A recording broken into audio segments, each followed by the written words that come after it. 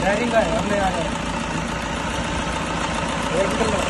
अरे बंद है यार बहुत क्या देख रहे हो।